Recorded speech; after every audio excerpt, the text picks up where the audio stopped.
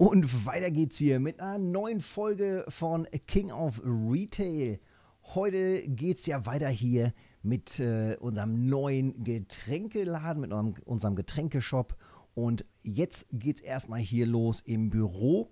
Und was man hier alles einstellen kann, welche Möglichkeiten man hier hat und was man hier alles äh, machen kann in dem Game.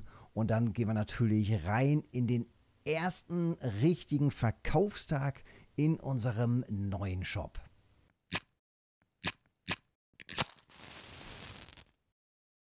Also legen wir los. Beim letzten Mal hatten wir ja den Shop eingerichtet und alles voll gemacht, die Regale gefüllt und so weiter. Haben ähm, die ersten Waren ja gekauft und jetzt sind wir hier in dem Büro. Nach Feierabend kommt man immer hier rein und hat nochmal die Chance, sich äh, am Computer die Statistiken irgendwie anzugucken. Man kann Bestellungen nochmal nachmachen, äh, nachziehen. Mindestbestände kann man pflegen und sowas alles. Das hier ist äh, der Tisch, wo wir unsere Bewerbungsgespräche führen für Mitarbeiter. Hier vorne sehen wir einen kleinen Kalender. Guck mal da, da haben wir sogar in zwei Tagen schon Hollywood-Filmaufnahmen hier. Das heißt, da kommen irgendwelche Berühmtheiten vermehrt in die Stadt. Das wirkt sich dementsprechend natürlich auch aus.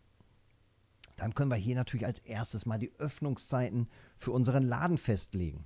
Was ich zuletzt gemacht habe, ist, dass ich gesagt habe, okay, schwerpunktsmäßig mache ich einfach am Wochenende auf und dafür mache ich montags und ähm, dienstags quasi zu.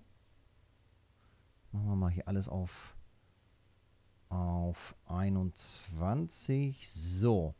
Und dann hatte ich das so eingestellt, ähm, dass ich keine Mitarbeiter hatte an diesen beiden Tagen. Das heißt, wenn ich später Mitarbeiter habe, ähm, dann haben die an diesen beiden Tagen frei. Das entspannt die auf jeden Fall immens. Und an den anderen Tagen mache ich dann aber von 9 bis 21 Uhr auf. Von 9 bis 9. Erstmal so für den Anfang. Gucken wir mal, wie das so läuft. So, da haben wir das Wochenende nämlich schön den Partystoff bei Hand und so. Dann kann man schön hier am Wochenende die Kohle machen und Anfang der Woche wird entspannt. So, dann haben wir die Öffnungszeiten eingestellt. Mitarbeiter kann man sich hier dann angucken, wenn man später welche hat, beziehungsweise hier die äh, Personalplanung machen. Und hier sieht man dann die ganzen Statistiken, was man eingenommen hat, welche Ausgaben man hatte. Sehr schön detailliert gemacht. Hier an dem Ordner kann man dann speichern oder dann irgendwann wieder auch gehen und das Game verlassen. Hier, genau, geht es an das Design, Namen ändern und so was alles noch. Dann kann man hier, richtig wichtiges Tool, den Shop irgendwann, wenn man genug Kohle hat, zum Beispiel vergrößern. Man geht hier auf die Grundrisse, man geht hier auf ja, den Ladenbereich, dann sagt man, okay, ich brauche jetzt hier hinten noch ein bisschen Anbau oder machen wir das nochmal so. Oder wir bauen hier einfach mal ganz wild und so weiter. Da machen wir hier noch einen Bereich. Ähm, das kann man alles machen. Oder man sagt, man braucht natürlich ein bisschen mehr fürs Personal. Und noch ein größeres Lager müssen wir auch noch haben. Also all diese Möglichkeiten kann man hierüber steuern und einstellen. Ähm, dazu kann man sagen, ja, wenn ich hier jetzt so einen Bereich habe, hätte ich aber auch gerne noch ein paar Wände da drin. Zack, zack. Dann ziehen wir hier noch ein paar Wände rein. Und in den Wänden hätte ich aber auch noch gerne Türen und hier auch noch. Also alle, alle Möglichkeiten, äh, die man sich so vorstellen kann. Ich habe bisher noch nichts vermisst.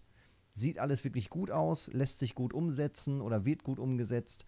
Und ähm, wenn an solchen Wänden, die man dann hat, wenn da irgendwelche Regale vielleicht dranhängen oder sowas, dann werden die nach dem Umbau, liegen die auf dem Boden sozusagen. Man packt das aus, packt das alles wieder zusammen und ähm, hat, jetzt habe ich das gedreht, und hat dann, ähm, so, und dann hat man das alles schön in den Kisten und kann das wieder verwenden.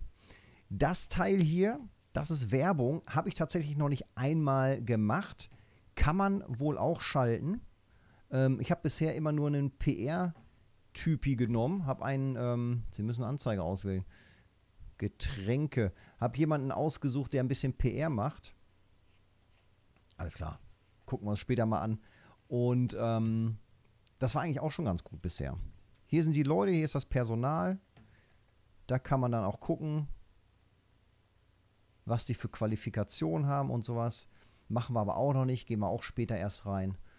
Hier am PC kann man zum Beispiel dann auch reinschauen, wenn man das Personal hat, dann melden die sich hier ab und zu, wenn die irgendwelche Sorgen haben. Man kann Kredite aufnehmen, wenn es soweit ist. Man kann nachschauen, was die Kunden so gekauft haben und welche Kunden quasi an welchen Tagen kommen. Sehr schön detailliert tatsächlich. Im Überblick sieht man, was man verkauft hat und was äh, den meisten Umsatz gebracht hat und tatsächlich auch die Marge, die, die äh, wie viel Prozent Gewinn man da dran hatte.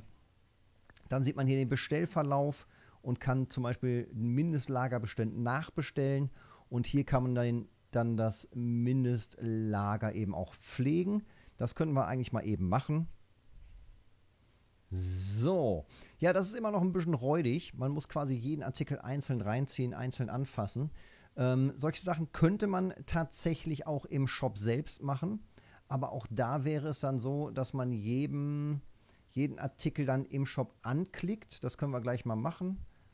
Dann zeige ich das mal eben. Man klickt quasi jeden im Regal an, jeden Artikel und kann dann sagen, ja Mensch, irgendwie verkaufe ich davon viel zu viel.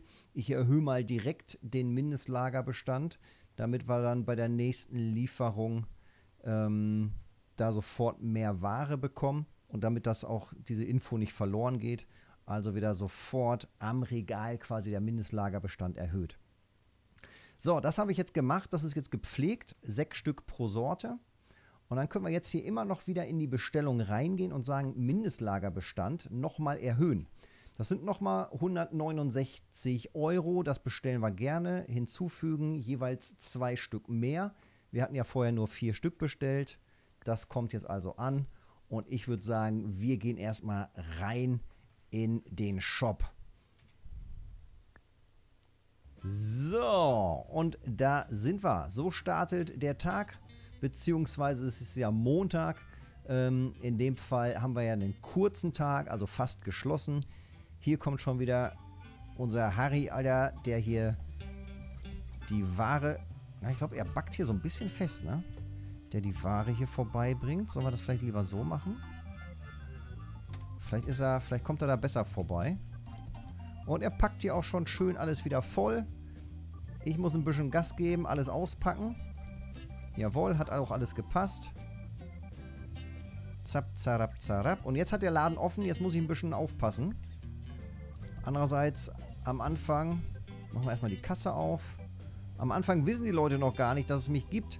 Und hier gibt es ganz viele, die stehen jetzt hier vor mit dem Fragezeichen und sagen, Alter, wer bist du denn? Und dann kannst du die anquatschen und sagen, ja, schönen guten Tag, schön, dass du da bist, Alter.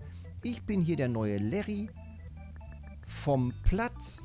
Und dann musst du hier irgendwelche so komische, so Freundlichkeitsdinger irgendwie machen und mit denen quatschen. Und vielleicht kriegst du die, guck mal, ganz freundlich, jetzt kommt sie sogar rein und guckt sich den Laden an. Und dann kannst du eigentlich hier die ersten, am Anfang kannst du hier ganz viel stehen draußen und die Leute irgendwie bequatschen.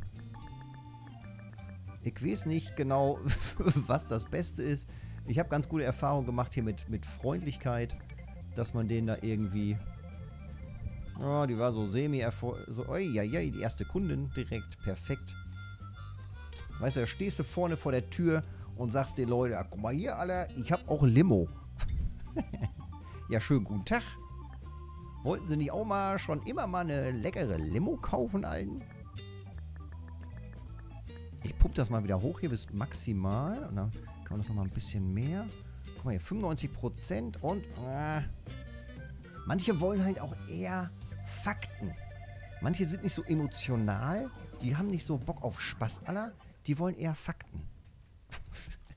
weißt du was? Ich packe einfach weiter aus. Da ist meine Zeit irgendwie sinnvoller mit verbracht. Ich habe das Gefühl, dass man eh so nach, ich würde sagen, nach dem vierten, fünften Tag, dann geht es so langsam richtig los, dass die Leute das, den Laden kennen. Ähm, und dann wird er auch immer mehr. Guck mal, jetzt habe ich einen Verkauf hier gemacht. Aber ich kann die Regale nochmal auffüllen in der Zeit. Jetzt habe ich nach Feierabend eine Stunde Zeit. Danach wird man automatisch quasi rausgekickt ins Büro. Das heißt, immer schön die Uhrzeit im Blick behalten. Was man manchmal noch mal machen kann, ist ähm, dann vielleicht noch mal schnell ein bisschen was auspacken. Das läuft manchmal auch durch. Auch wenn man dann schon im Büro ist, dann sind die Paletten trotzdem irgendwann am nächsten Tag ausgepackt komplett. Aber guck mal hier, bisher sieht das ganz gut aus. Und jetzt landen wir auch gleich im Büro. Ah. Okay. Ja, das war die Miete. Ähm, die Einnahmen war ja, waren ja nicht ganz so groß. Sie hatte keine Personalkosten.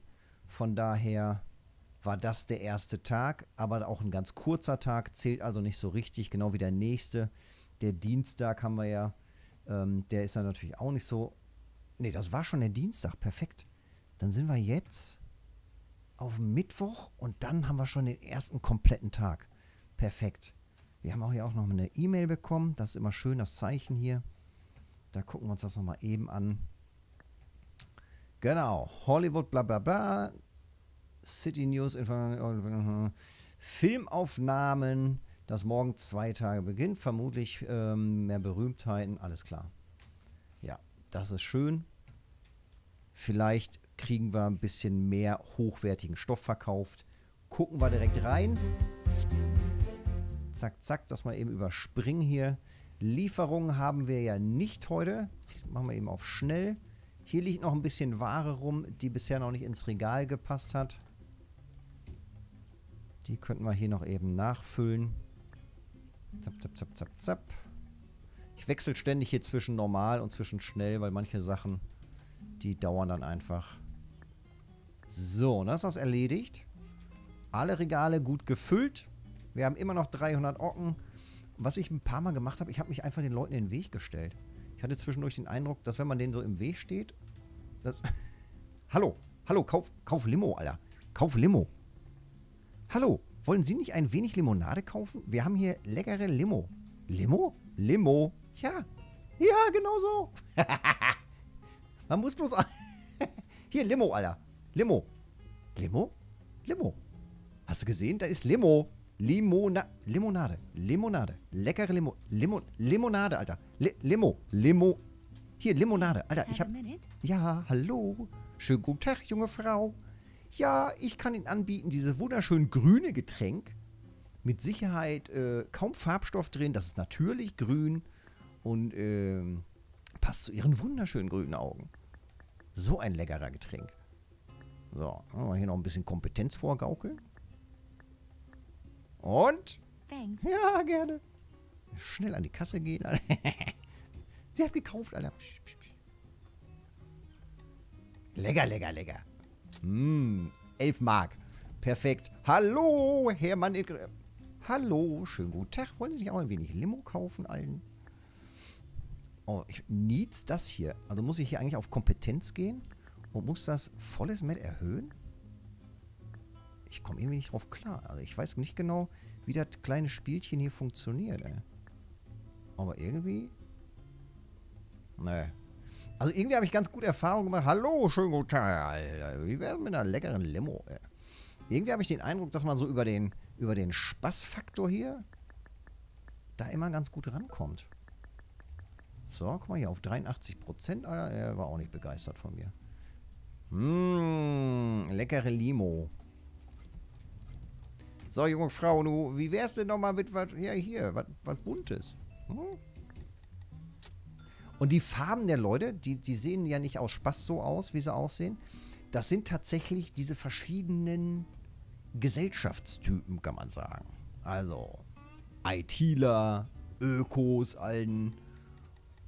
Ne? So sehen halt Ökos aus. Und ähm, Rentner, das sind hier VIP. Ach, die Orangenen sind äh, die VIPs, glaube ich. Das sind die Hollywood-Stars, Alter. Und dann rennen sie hier alle so rum. Und irgendwann, weißt du was, ich kann einfach mal, ich mache mal ein bisschen Marketing hier. Irgendwann, wir machen mal Marketing hier für Berühmtheiten und äh, schreiben mal irgendwie eine geile Insta-Story oder sowas. Mit irgendwie sowas Schmissiges.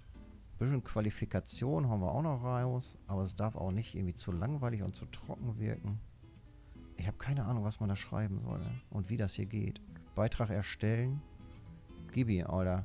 Jetzt schreibe ich hier irgendwas. Also solche Sachen, wo ich mir selber unsicher bin, auch später dieser, dieser Verkaufsprozess, die Leute voll quatschen und sowas, dafür hole ich einfach Personal. Hier, have a minute, das fragen die ständig. Da hole ich mir doch jemanden, der das kann. Da muss ich doch nicht selber da dran irgendwie und mich versuchen. So machen wir das. Guck mal hier, jetzt kommt hier noch Einführung und so, bla bla. Herzlich willkommen in unserem tollen Geschäft. Ja, ich komm! Mach fertig. Oh, jetzt habe ich einen vergrault, Alter. Jetzt muss ich aber hier schnell. Ja, ja, ja. Schnell nochmal. Ja, ja, hier, hier, hier, hier. Alter, die Stars stehen hier Schlange, ey. Das ist der Shop der Stars. Excuse me. Excuse me. Ich eile.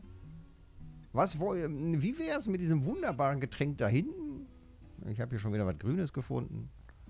Ein freundliches Grün aller. Macht gute Laune und ist für Berühmtheiten genau the shit. Ich kann es dir sagen, Alten. Thank you. Ja. So.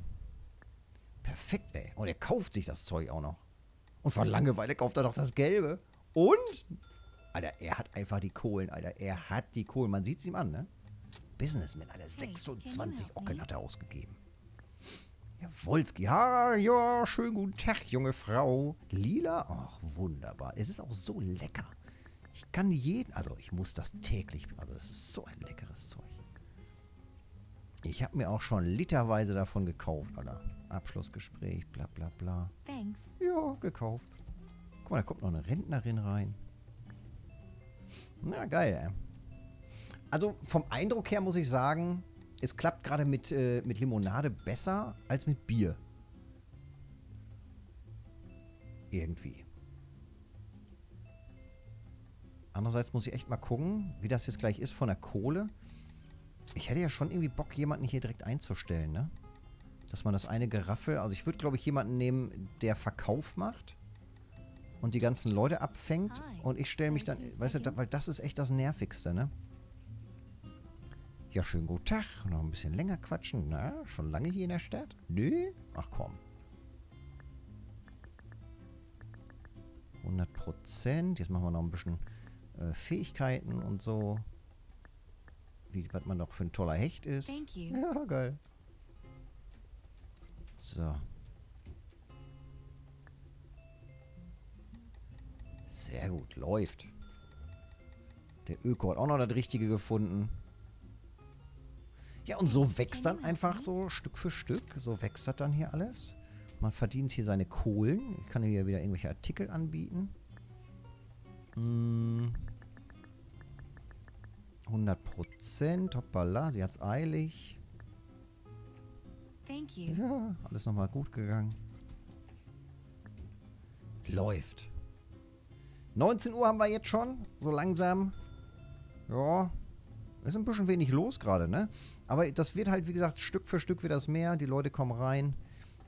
Zum Glück gibt es diese Funktion Vorspulen, ey. Sonst kann das manchmal ein bisschen lang werden. Läuft, läuft, läuft. Man will das ja auch, dass es alles läuft. Und äh, das Ganze, also ich sehe das halt so, dass man das Ganze so ein bisschen besser überblicken kann. Wo hat man hier Schwächen im System? Was kann man noch verbessern? Und dementsprechend vielleicht noch anderes Personal einstellen. Perfekt, jetzt machen wir auf langsam. Das war der erste komplette Tag. Und hier bestellen wir jetzt natürlich auch erstmal Artikel bestellen aus dem Shop direkt den Mindestlagerbestand. 31 Stück sind 83 Ocken, hinzufügen, bestellen. Jawohl, Und das kommt dann quasi am nächsten Tag automatisch hier rein. Ein bisschen was liegt hier sogar noch rum. Könnte ich jetzt sogar schon nachfüllen. Siehst du, da ist hier sogar noch was und da, ne, da passt nichts mehr. Und dann geht das halt jetzt so weiter und ich würde sagen, wir gucken gleich nochmal kurz ins Büro, ob wir uns da nicht noch ein bisschen Personal leisten können. So, ab ins Büro. Tja, und da sind wir wieder hier im Büro angekommen. Das Ganze hat ja bisher schon ganz gut funktioniert. Wir sind ja auch schon im Plus. Und ich würde sagen, wir leisten uns die oder den ersten Angestellten. Das allerdings äh, im nächsten Video. Wenn du Bock hast, weiterhin Bock hast auf diese Serie, dann Daumen da lassen, den Kanal abonnieren. Und dann sehen wir uns das nächste Mal im nächsten Video oder im Livestream.